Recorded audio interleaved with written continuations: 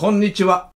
今回は日本の近現代史において複雑な人物として知られる笹川良一の生涯とそのエピソードに迫ります。戦後の日本を仕切ってきた黒幕として数多くの伝説が流れている笹川良一。黒幕といえばすぐに悪人呼ばわりする人がいますがね。黒幕イコール悪人とかクズとかいう見方は一体どこから来るんだろうかね。黒幕になる意図や能力を持たず、富や成功を得るための才能が不足している一般人が、限られた情報源から得た知識に基づいて、特定の政治家や実業家を卑下し、悪人と決めつけるのが大方の筋です。今回の笹川良一を含め黒幕と言われた彼らについての理解が、読書やメディアによって得られる情報の範囲内に限定されていることを考えれば、そうした人物を貶めるのは理不尽でもあり、歴史を否定するようになりかねません。と言っても、それはそれで個人個人の思想や見方が異なりますから、判断は任せますがね。今回紹介する笹川良一は、明治大正、そして戦前戦後の昭和において、型破りな発想と行動力で周囲を圧倒して日本のドンとも政財界の黒幕と呼ばれ、特に戦後のマスコミ各界からは極端にタブー視された笹川良一の素顔に迫ってみたいと思いますので、最後までご視聴ください。昭和23年1948年12月23日に戦争犯罪人の収容施設である巣鴨プリズンにおいて極東国際軍事裁判により死刑判決を受けた東條英機ら7名の永久戦犯の死刑が執行されました翌24日同じく永久戦犯だった笹川良一は児玉義雄岸信介石原浩一郎村田正蔵らと共に不起訴として釈放されました。昭和16年1941年1月笹川良一は初めて児玉義雄に出会いました。その場所は大阪北浜にある国水大衆党の本部でした。藤義雄という大衆党の幹部の紹介により、ずんぐりとした体格でかすりの着流しを身にまとい、鳥打ち棒を頭に乗せた児玉義雄が笹川に挨拶をしています。そして児玉義雄は国水大衆党の幹部として活動を行いますが、児玉義雄は笹川良一と真逆で貧苦にあえぎ幼少期青年期を送っています。だからおのずと金銭に対する感覚の相違は二人に現れた埋め難い溝でもありました。これが原因で、後に児玉義雄は笹川良一を裏切るようなことをするんですがね。これはまた別の機会でもご紹介しましょう。児玉義雄が児玉機関と言われた財力を築いたのは、笹川良一が海軍航空本部の山形中将に児玉を紹介したことから始まります。実は最初に海軍航空本部用の必要資材の調達を依頼されたのは笹川良一でしたがその手の資材調達の仕事は苦手だということで児玉義雄を推挙しています。児玉機関の詳細については別動画闇の帝王児玉義雄をご視聴ください。概要欄に URL を記載しておきます。さて笹川良一が前代未聞のモーターボート競争をギャンブルとして構想したのはよく知られていますがそのアイデアは菅物獄中でアメリカの雑誌ライフに掲載されたモーターボートの写真を見た後からだとされていますそれともう一つ多分これがモーターボート競争に興味を持つことになったんではないかと勝手に思うのですが菅鴨刑務所で B 級戦犯の一人だった福富茂とかいう海軍中将がフィリピンのレイテ湾にいた時のことを話してくれていますその頃海外ではモーターボートを所有している人が限られた富裕層だけでした。彼らは小さなモーターボートを遊び道具として製造させ、その先端部分であるバウに爆薬を積むことがありました。話によると爆薬を積んだボートを障害物に向かって走らせると、驚異的な勢いで衝突し、障害物をコッパみじんに爆破するほどの力があったと言います。福留中将はもし日本が第二次世界大戦時にそのようなボートを保有していれば、どれほどの損害を敵に与えられたか計り知れないと述べました。しかし、当時の日本は対艦巨砲主義を採用しており、そのため上層部はこのような小型の攻撃ボートの提案に耳を貸さなかったということです。そういうこともヒントになって笹川の詳細がひらめいたかどうかわかりませんが、モーターボート競争というのは面白いなという考えにつながったのではないかと思います。だがこの時は人に未銭をかけさせて儲けようとするギャンブルの発想まであったかどうかわかりません。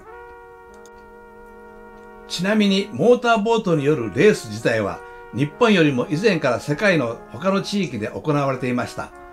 ボートレースの形式、特にモーターボートを使用したレースは20世紀初頭にはすでに欧米などで人気のあるスポーツイベントとなっていました。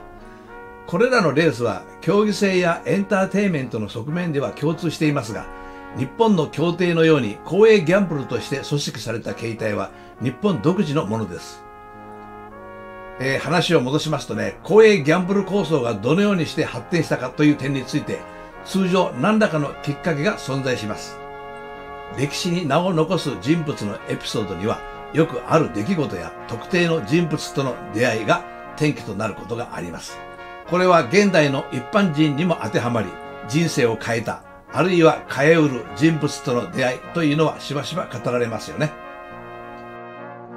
笹川良一にとっても人生の転機をもたらした出会いがありました。それは福島米という女性との出会いです。福島米は明治天皇の諸子であり、ある高僧の愛人とも言われ、その生涯は世間の注目を集めていました。笹川がこのような魅力的な女性の話に弱かったのかもしれません。さらに何でも信じ込みやすい性格の笹川のもとに宝塚出身女優のような福島米が訪れたのは1949年の初めでした。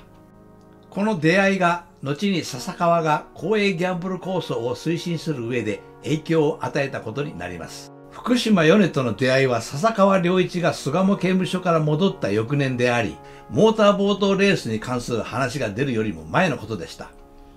しかしこの出会いは重要な転機となります。なぜなら、福島米がモーターボート競争の提案を持ちかけたからです。福島米はこの時62歳で、後にモーターボート競争法案の審議で参考人として国会に呼ばれた際には、モーターボートレースを競馬や競輪と同様に掛け事としてプロ化するアイデアは自分が思いついたものだと証言しています。この出会いとその提案が後に日本における公営ギャンブルとしてのモーターボートレースの確立へとつながったことは明らかです。福島米の着想が笹川良一の構想に大きな影響を与え、その結果、新たな公営ギャンブルの形態が生まれていくことになります。これ実はね、後で明らかになったことなんですけどね、福島米がボートレース競争のアイデアを最初に相談したのは、当時大阪商船の社長であった村田正蔵でした。しかし村田正蔵は自分にはこの構想を実現する力がないと感じて、提案を断っているんですね。そしてその結果、この構想を実現できるのは笹川良一だけだと考え、福島米を笹川に紹介することになったんです。前日の通り笹川良一と村田正蔵は巣鴨刑務所での出会いを得て知り合いとなっていました。そしてですね、巣鴨刑務所時代から笹川は資源のない日本はこれから海を活用することによって広く世界から資源を集めなければならないと考えていましたので、モーターボート競争の話が持ち込まれた時は、笹川の腹はその実現に向けてゴーサインを出していたと思います。戦前は航空機の重要性にいち早く気づき、空からの国防を唱え、自ら飛行機を操縦することもしました。あの顔からしてね、飛行機を操縦するなんてことは想像がつかないと思いますがね、これは後ほど紹介します。昭和7年5月20日、民間パイロットの育成を目的とした国水義勇飛行隊を結成して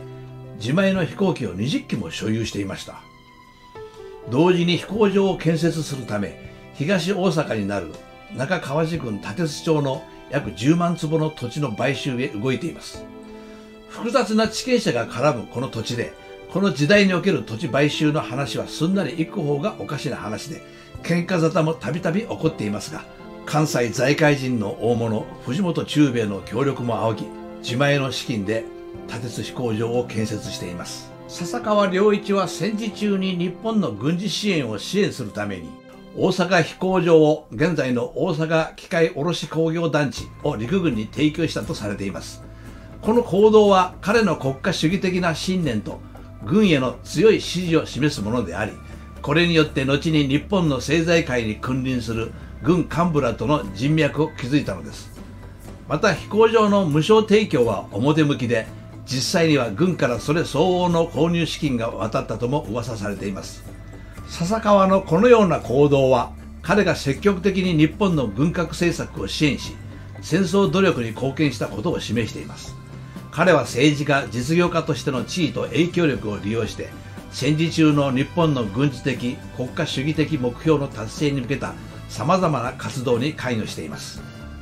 笹川が提供した大阪飛行場は戦争期間中に重要な軍事施設として利用され飛行訓練や軍事輸送などにも活用されました。そして笹川の謎の一つはその資金です。児玉義雄が終戦時に日本に持ち帰った当時の金で32億円。今の貨幣価値に直せば天文学的な数字の一部が渡ったという説もありますがそれは定かではないし中国大陸でアヘン売買で稼いだ里見機関の資金もそこに含まれるとされていますがこれが事実かどうか詳細が分かる資料がないというのもまたこれ事実なんですよ。このようにね当時としては彼ら黒幕と言われた人物の資金源や金の流れはオブラートに包まれていますよね。こうした謎を紐解く事実は児玉に続く笹川の死でもって永久に蓋が閉じられてしまいました。話はモーターボート競争に戻りますが敗戦による占領下の当時では日本は飛行機産業を禁止されており活路を見出すのは海しかないと思ったのでしょう。日本政府にとっても戦災からの復興を遂げるための方策としてギャンブルの振興が不可欠となっていました。すでに1946年に地方競馬が再開されており1948年には競輪が始まり1954年には中央競馬会が設立されオートレースも1950年に始まっていたのです。笹川は福島の相談を聞いてモーターボート事業を起こして国民の息を振興し国家のお役に立てるよう努力しようではないかと快諾し福島米を連れて運輸省へ出向いたのです。もちろんこの行動は自ら立ち上げた右翼団体国粋大衆党の資金源を作る目的もあったと同時に公営ギャンブルから得られる収益を国防への協力や社会福祉や慈善事業に充てることを目的としていました。そして1951年3月にモーターボート競争法案が国会に提出されることになりました。この法案を国会に提出し実現にこぎつけた重要な人物として右翼から左翼に至るまで幅広い人脈を持つ矢吹和夫がいます。矢吹和夫はそのユニークな立場を生かしモーターボート競争法案の成立に向けて多方面からの支持を集めることに成功しました。矢吹和夫の政治的なスキルと広範囲にわたるネットワークは法案が国会で承認されるために不可欠でした。矢吹和夫の努力により笹川良一の構想は法的な枠組みを得て実現への道を歩み始めました。矢吹和夫は佐賀県出身で笹川と同じ小学校卒業の学歴ながら北一揆の書生をしたり戦後は岸信介の参謀役として李承晩蒋介石らと会談し韓国台湾との外交にも力を発揮しました笹川良一が永久戦犯として巣鴨刑務所に収監された背景には戦犯を何とかして救出したいという強い動機があったようですまた永久戦犯というレッテルは彼にとっては出所後に自身の立場を強化するための勲章のようなものだったかもしれません。彼は東京や大阪で真の戦犯は日本を追い詰めた米英であるという内容の演説を行い、自らの思惑通りに永久戦犯として逮捕されました。笹川良一は巣鴨刑務所への入所時にトラックを特別に装飾して軍艦マーチを流しながらのパフォーマンスを披露したといいます。これは一般の人には真似できない型破りな行動でしたね。そして彼が自ら戦犯となることを志願した目的は、東条英機をはじめとする戦犯容疑者が天皇の戦争責任について発言することを防ぐためだったとされています。その目的のために、アメリカ軍との交渉を進めるため、自ら巣鴨刑務所に向かったといいます。巣鴨刑務所にいる間、笹川は A、B、C 級の戦犯やその家族を支援するために資材を投じたといいます。東京裁判で有罪とされた人々の中には、法的に無罪であるにもかかわらず、同情を呼ぶ事情を持つ人々も多くいました。笹川はそうした人たちにも手を差し伸べています。自ら戦犯志願し、巣鴨刑務所に入る決意をしたのは、彼の強い願いからであり、誰にでもできる行動ではありません。占領軍に対して日本の立場を主張したいという彼の熱意は、当時の社会から阻害されがちだった戦犯とその家族にとって笹川は特別な存在でもありました。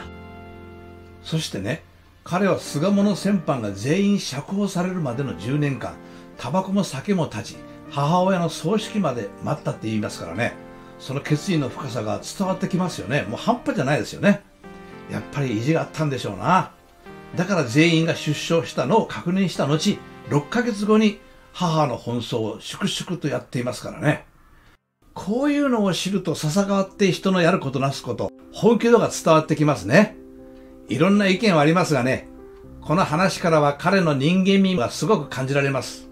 そして1955年にはレースの自宅運営を担う全国モーターボート競争会連合会を設立し、その会長に就任しました。この時笹川はほぼ全ての資金を提供していました。その後、1962年には協定の年間売上金2兆円の3.3%を全国の公益法人に寄付する目的で財団法人日本船舶振興会が設立されました。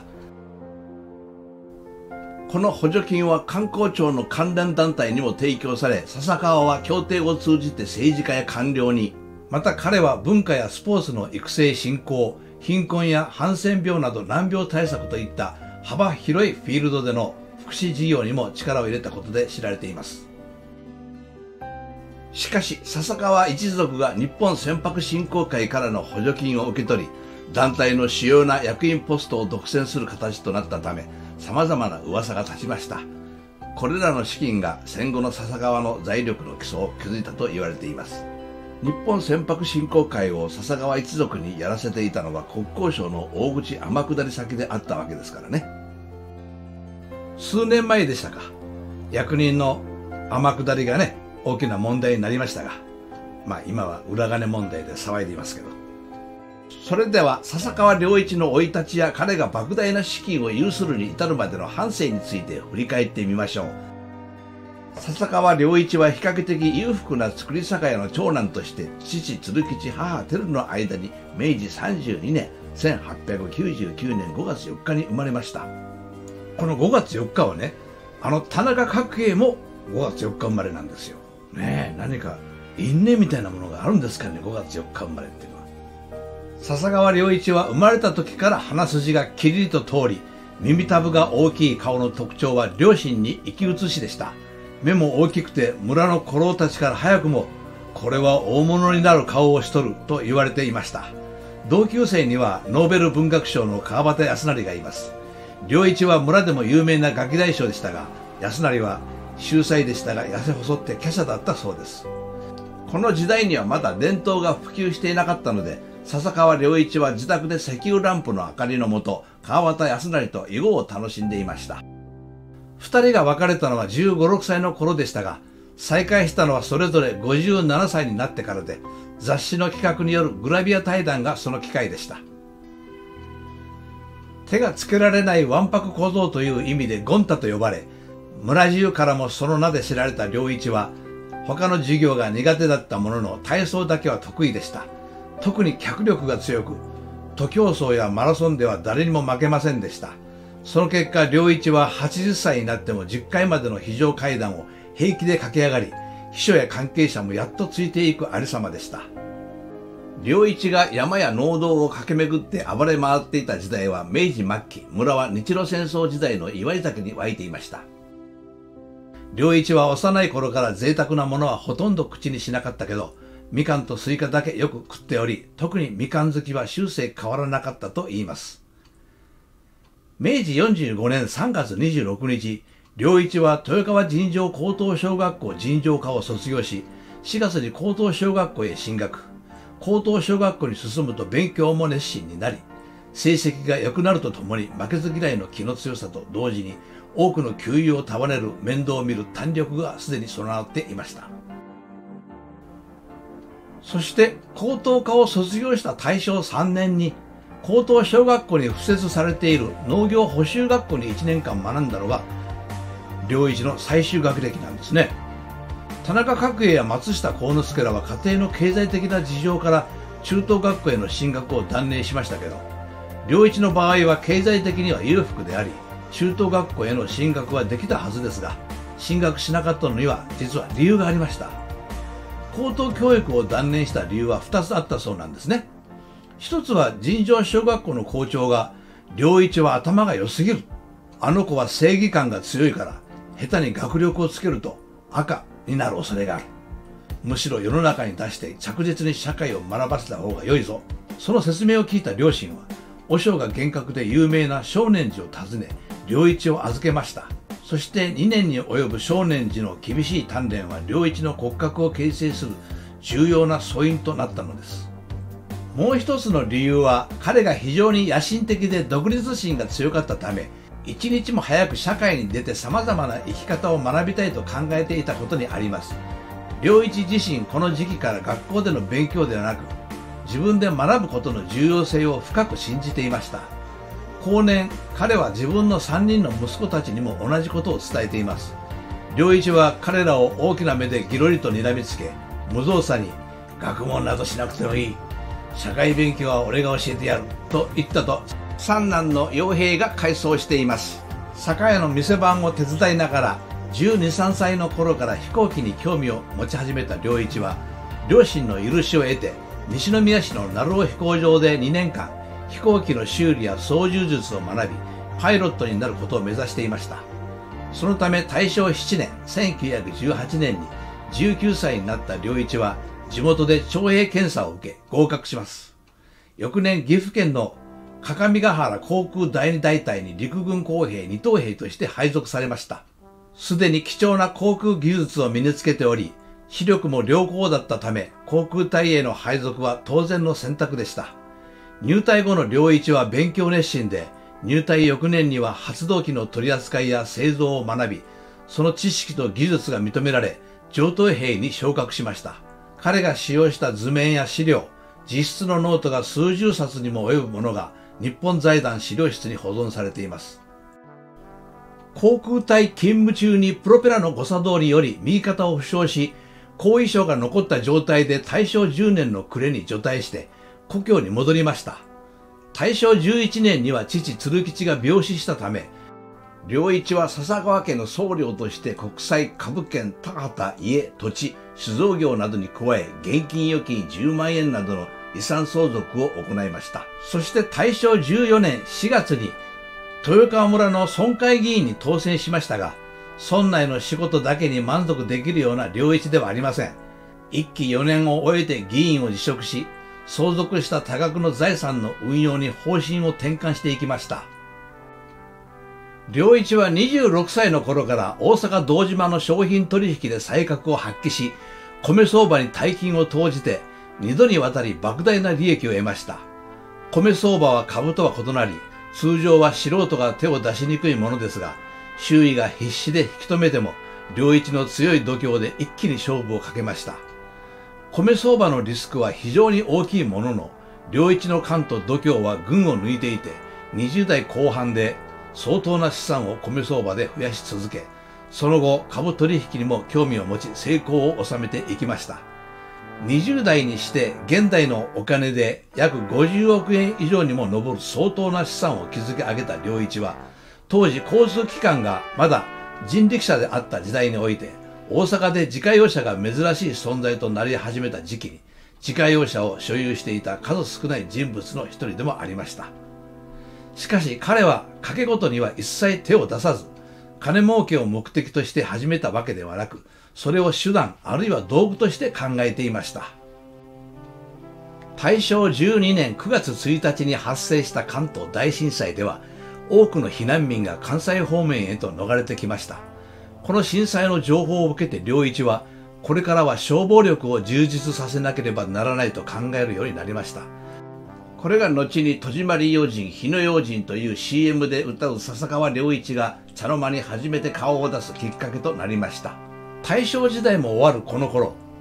日本経済は第一次世界大戦直後の公共から一変して不況になりました。これにより不良債権が続発し、昭和2年には多くの銀行が倒産に追い込まれました。両一の地元関西でも震災手形の焦げ付き、緊急輸入の膨れ上がりによる過剰在庫の滞留は関西経済界に大きな打撃となったのです。この昭和2年の大恐慌はね、それを招いたのは当時の片岡大蔵大臣が議会で今日の正午頃とうとう東京渡辺銀行が破綻しましたと国民が動揺するバカなことを言ったのが原因なんですよ。案の定この発言はその夜に噂として広がって翌朝新聞にデカデカと掲載されてしまった結果人々を動揺させやがて銀行が潰れる前に預金を引き出そうと大勢が銀行の窓口に殺到する事態になったんですね。こうした取り付け騒ぎにより大阪にある愛国預金銀行が倒産して、相場市で顔見知りだった頭取が、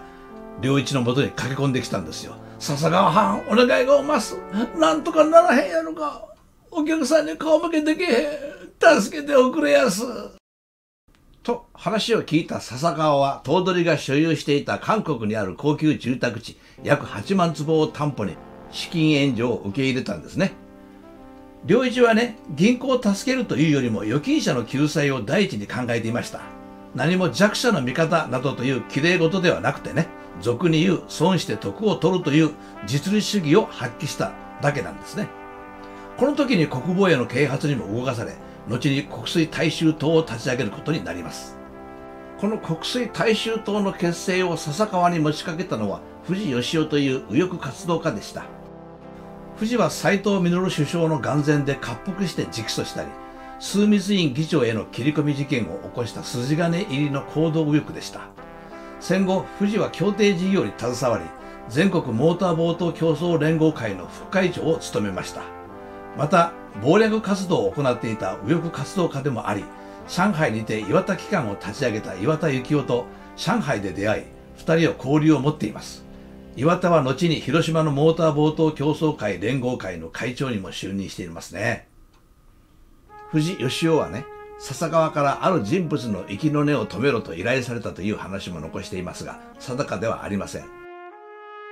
笹川は児玉とは異なり暴力団と直接結びついていたわけではありませんが、ある意味で暴力団よりもかなり強力な暴力装置を持っていた可能性があります。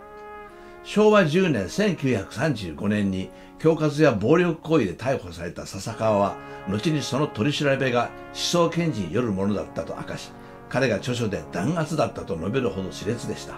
その尋問は完全に笹川良一を抹殺しようとする意図があったと言われています国水大衆党は最盛期には約全国に23の支部党員数は1万5000名を数える大組織になっていました党員の服装は黒一色、イタリアの右翼政党、ファシスト党を真似たものだと思われますが、1939年には、良一は飛行機を操縦してローマを訪れ、本家ファシスト党の総裁ムッソリーニと会見しています。彼はその時、紋付き羽織袴という伝統的な装いでした。彼は生涯にわたり常に世界を意識して行動しており、そのパフォーマンススキルを際立たせた人物としても知られています。ムッソリーニとの会談は笹川がファシズムや国家主義的な思想に深い関心を持っており、彼は当時日本の軍国主義と国家主義の公用期においてですね、国内外で様々な政治的、社会的活動に関わっていたんです。この時はね、9月にはドイツがポーランドに侵攻しており、第二次世界大戦が開始されていたんですよ。つまり戦時下における飛行でしたから、いつ撃墜されてもおかしくない状況だったんです。それにもかかわらずね、それだけの危険を冒して飛行してね、そしてムッソリーニと会見した。これはね、普通の人間じゃできないよね。そしてこれでね、三国同盟を支援する狙いがあったんではないかという憶測が飛びますが、この時は笹川個人の理由によるものだったようです。先ほどの話と被るけどね、国水大衆党を創設したのは順調だった投資事業に危機感を抱いたのと同時にね、国家を救うという大義名分もあったんではないかと思います。それは昭和4年10月24日木曜日、ニューヨーク証券取引所で株価が大暴落したのをきっかけに世界大恐慌が起きた。つまり暗黒の木曜日として知られた悲劇が始まったんですよ。大阪の生糸価格は大暴落したり、大規模な農民運動が起こったり、隣の朝鮮では公衆学生の暴動などが影響してね、先物市場も株式市場も世界恐慌に敏感に反応するようになったんです。同時に投資家側のリスクも予測がつかない事態となっていったんですね。こうした日本の危機に対して笹川の愛国心がより芽生え、蓄えた資金をもとに政治運動に進むことを考えて、昭和6年3月10日、大阪天王寺公会堂に4500人もの聴衆を集めて国水大衆党を旗揚げしたんです。この時32歳でしたよ。32歳で党員1万5000人を養うってね、誰でもできることじゃないですよね。悪者とかクズ呼ばわりされるような人間では絶対できませんよ、こんなこと。関西電力は従業員数が8500人ぐらいかな。ソフトバンク単体でも従業員数が1万9000人ぐらいですから、こうして比べると当時の笹川良一の資金力というか集金力はすごいですよね。本部をね、相場の本拠地北浜の一角に置いて、次々と周辺の土地の権利を獲得していきました。現在の大阪証券取引所の巨大ビルが建つ一等地も、かつては笹川が地上権を有した一帯でした。大衆党を決闘してから自宅にはね、浪人風の荒くれ者たちが出入りするようになり、口では天下国家を論じる者の移植の資金を企業からもぎ取ったり、羽二重の豪奢な羽織をまとって天下の大道を闊歩するなどね、舞を潜めさせる男たちが自宅を出入りするのを奥さんが一番嫌っていました。笹川良一自身も心身右翼としての地固めに没頭するあまり、家庭をほとんど顧みなくなっていました。そのため最初の夫婦生活は8年で終わっています。笹川の夫婦関係、妾が何人いたとか、諸子は誰とか、ここでは割愛させてもらいます。まあ、英雄、色を好むかどうかわかりませんが、各方面に愛人はいたようで、特に母テルに似たような気丈夫な女性に弱かったことは確かなようです。昭和17年には衆議院議員に当選しました。この時期の選挙は翼賛選挙と呼ばれ、政府の方針を無条件で支持する体制翼賛会の推薦が当選には不可欠とされていましたがね、笹川は推薦を受けずに当選しています。まあ推薦は受けなくてもね、バックに組員、いやいやいや、党員がいるわけですから、当選するのはもう当たりき車力、車引きっていうわけです。1967年、笹川良一は統一協会の教祖である文鮮明と共に日本での反共組織設立を目指しました。彼らは元栖湖で会合を開き、アジア反共連盟結成準備会を名乗り、日本に勝共運動を導入する計画を立てましたが、計画が公になり、挫折しました。その後、久保木治美は勝共啓蒙団を結成し、国際勝共連合を立ち上げました。笹川はこの運動で名誉会長を務め、共産主義勢力の排除と真の平和の実現を目指しました。しかし統一教会の活動が問題視され、文鮮明との関係が悪化したため、笹川は1972年に反共運動からの撤退を宣言し、名誉会長職も辞任しました。またね、統一教会の文鮮明との関係がある一方で、笹川良一は仏教系新宗教弁天宗の信徒総代も務めていました。この宗教団体の系列である智弁学園高等学校及び智弁学園和歌山高等学校にはね、行方資金も提供していました。これらの学校は高校野球の強豪として甲子園の常連校としても全国的に知られるようになったのは皆様ご存知の通りです。また山口組の三代目組長だった田岡和夫との親交も深く、自ら飲み友達と言ったとか言わなかったとか、その縁で暴力団間の仲裁役を務めたこともあります。ロッキード事件の時にはロッキード副社長こうちゃんとの会合が公になりましたが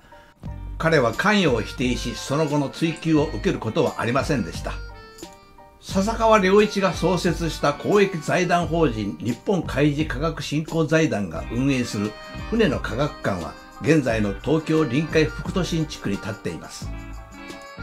船の科学館を建設しようとしてですねその建設候補地として東京湾の有明埋め立て地を最初に彼が見に行った時その一帯はまだ誰の手もついていないただのゴミ捨て場でした。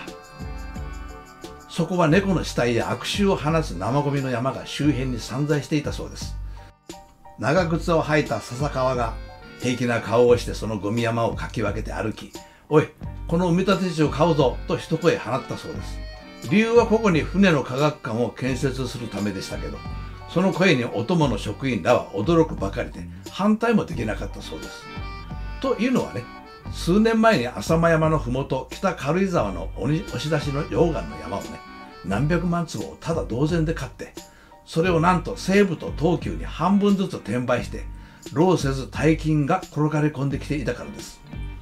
そうした彼の詳細というか先見性には誰一人反対する声も出なかったのですね。そうして有明埋め立て地の17万坪の一部1万5千坪を買ってそこに船の博物館を建設しました。現在でもこの残りの土地はですね東京都の所有地なんですけども例えばフジテレビなんかね毎月借地の家賃を払っていますね。彼が幼少の頃村の美しい女性がハンセン病の患者であったがために結婚することもできず外にも出られずやがて姿を消したという悲劇に遭遇しています。そしてハンセン病を心から憎みこの世界から消滅させることを心に誓っていました。ハンセン病のワクチン改良にはワクチン接種の第1号被験者となり財団法人笹川記念保険協力財団を作って会長として各国のハンセン病院を慰問して回っています。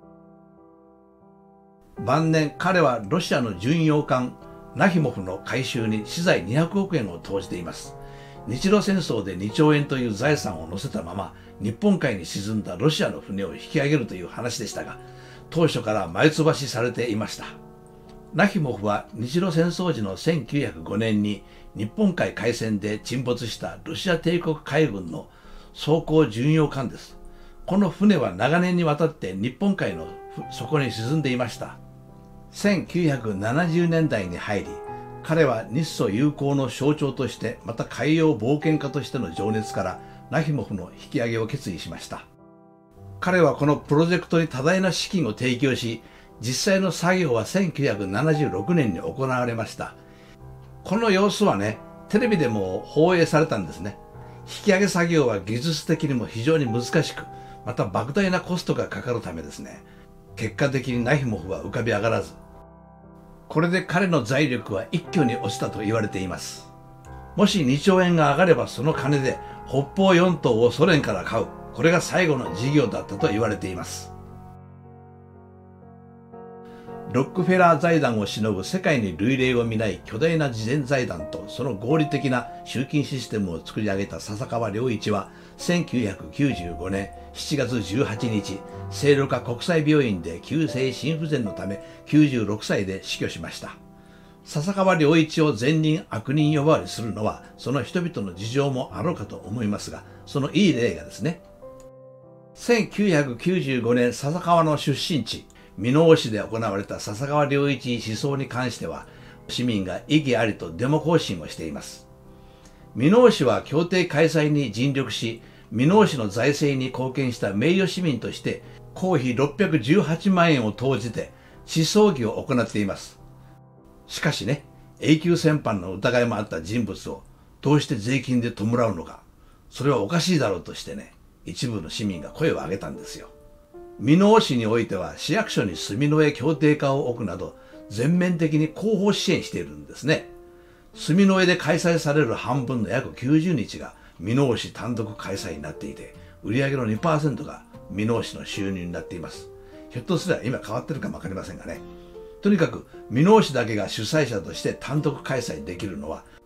彼の出身地でもあり、協定の普及に地方自治体の協力を仰いだ際に、一番最初に手を挙げてくれたのも箕面市でした。そのため彼はその恩義に報いるために、箕面市が単独で開催できるようになり、今では大阪府下13市が主催施行できるようにと便宜を図ったのです。